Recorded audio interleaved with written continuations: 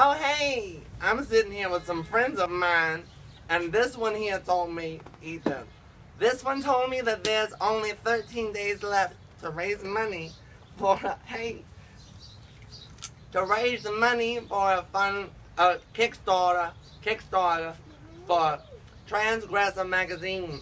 This magazine covers the craziness of the world, and they need your help. And all of my friends have come together today. Oh God, shit.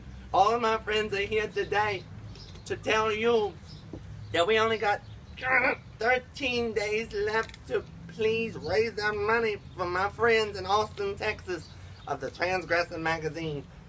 And if you don't, this mule is gonna eat me.